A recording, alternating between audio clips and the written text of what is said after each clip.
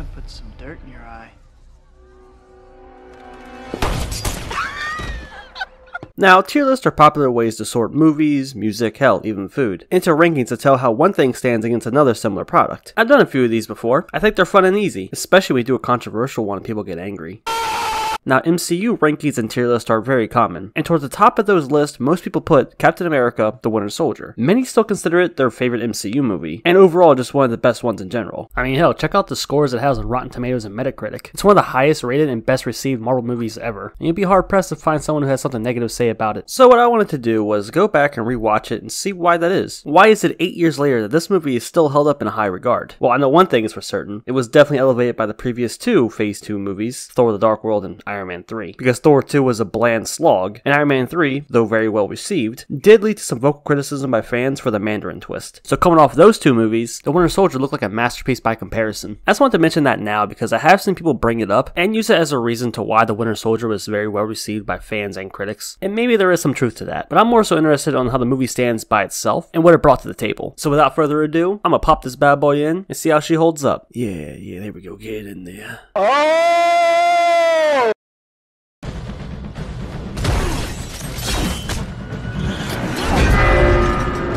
Yeah, so um, it's still pretty awesome. This movie definitely does a lot right, and it tweaked and changed several things to make it feel fresh and to really make it feel different from your standard superhero fare. And the biggest thing that stood out to me was that the Russos wanted this to feel like a political thriller or a spy espionage film, and for the most part, they did a pretty good job. It had a good mystery in the beginning, and then a consistent series of reveals and twists as it progressed to keep you guessing and to surprise you. And the way the plot unravels is pretty good for the most part. Only issue I really have with it is at the halfway point, there's a big info dump. The consciousness of Dr. Zola spends about five minutes revealing half of the mystery. It tells them what Project Insight is, how it's their secret weapon, how Hydra infiltrated S.H.I.E.L.D. and killed those who were in their way, and it tells them what their big end goal is. It reveals a lot of information here, but there are still a few more threads left untangled to keep the twist and the plot going. But then, of course, for the last about 30 45 minutes, the movie just becomes Stop the Giant Airships climax. But besides that, I think it does a pretty decent job overall of taking a superhero movie and adding a lot of elements and plot beats of a spy espionage political thriller. And to help really sell the story, it's played very straight. I was actually taken back when I noticed there was a solid 20 minutes without a random joke inserted. This was still phase 2, and the Whedon-esque quippy dialogue and humor wasn't in full effect yet. So here, it knows when to be serious and when to have comedy. So there wasn't many occasions where the serious moment was ruined by an offhand joke. In fact, there are several moments where it's just intense as hell. And sure, there are a few jokes here and there, like there's this running gag of Natasha recommending girls for Cap to ask out on a date. But besides that, there weren't many moments where things had forced humor into it, or jokes that made me cringe. For the most part, it's actually pretty serious. And so by proxy, it helps you take the situation and the story more seriously. So the story and overall plot is pretty good. The serious and straightforward tone is really good. What also helps is that the action is pretty damn solid too. What's interesting is that a lot of the hand-to-hand action scenes here will go on to get mimicked by other MCU movies, but not done as well. This was really the first MCU movie to have a pretty decently well choreographed hand-to-hand fight scenes. A shame that years later they would basically copy and paste the way they fight here in every other MCU movie, but not as good. But here at the time, it was refreshing. But the sections I really enjoy the most are the set pieces where they're crashing and flipping cars. The Russos tried to shoot as many of these as practically as they could, so it looks really good on screen. The cars flipping, crashing, exploding, it's all pretty great, and the action is pretty creative in these parts. And there's one small thing that they used very well that really elevated it, and that was Cap's shield. He uses it and throws it around like a fucking indestructible frisbee. It bounces ricochets all over the place, and it really spices up things. And it was done so well here that going forward, this is how the MCU would have him use his shield all the time. And Steve Rogers himself actually felt like a super soldier here. You actually get to see his strength and durability, and you go, oh, that's what a super soldier is like. Seriously, Cap is like a beast here. Yo, also like how George St. Pierre is here as a bad guy on the ship. I'm not impressed by your performance,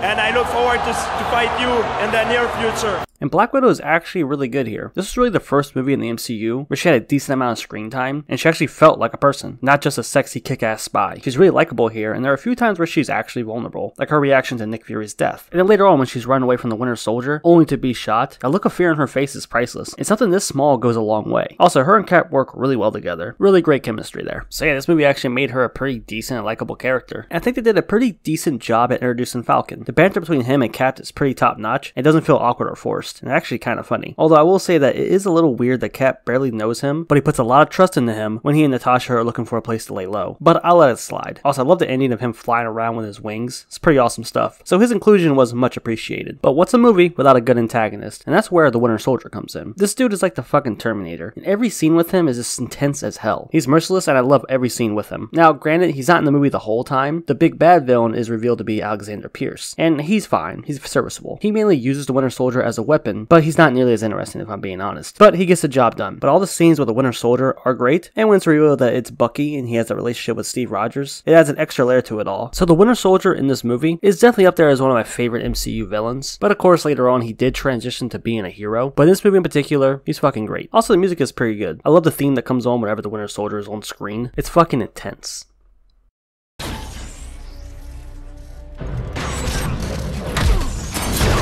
So, a quick recap for the reasons why The Winter Soldier is loved so far. You get a story that takes itself seriously, it's filled with a decent amount of mystery, intrigue, and twist. The humor isn't running rampant and ruining the tone and tension of scenes. The action is pretty damn good and fun as hell, and The Winter Soldier is a badass. That about cover it? Honestly, there's only like two negative things I can say. The first one is very minor, and it usually comes up when you're talking about an older movie. It's just that some of the CGI doesn't hold up that well, usually exterior shots, like this ship. And when you have some really good looking practical effects, it makes stuff like this stand out even more. But the movie is over 8 years old, so it's not really a surprise that some of the CGI just isn't the best. It never took me out of the experience, but there are a few times where it was definitely noticeable. But by 2014 standards, it looks fine. And the only major complaint I have is the shaky cam. For some of these fight scenes, the frantic moving camera and quick cuts make things hard to see, and so you can't fully appreciate them. Now they don't do it for every scene, but they do it for many of them, and it does get a little distracting. And I will add, when you compare the fight scenes to stuff like in John Wick or The Equalizer that came out the same year, they aren't as impressive. But when you compare them to MCU fight scenes up to that point, they are definitely an improvement. Although most of the set pieces with the cars and explosions are still pretty great. So yeah, other than that, this movie holds up pretty well today, and it was definitely a game changer in the MCU, and felt very fresh and unique at the time. The serious tone, the interesting plot, the fun and creative action, the good character development, it was all really good in 2014, and most of it still holds up pretty well today. And I would say this is still easily a top tier MCU film, and probably one of the better solo MCU movies. In short, it's goaded with the sauce. And of course, as always, I asked you guys, what did you think of Captain America the Winter Soldier? And unsurprisingly, the vast majority said that it's definitely one of the best MCU films, with many placing it in their top three. And I can definitely see why. It's a pretty awesome film. So now, would you guys leave a comment, let me know, what do you think about Captain America the Winter Soldier? Is it as good as people say? Do you think it's the best MCU movie? And where would you rank it in comparison to the other MCU films? And of course, if you enjoyed the video, go and drop a like on it. Thanks for watching. I'll catch you next time.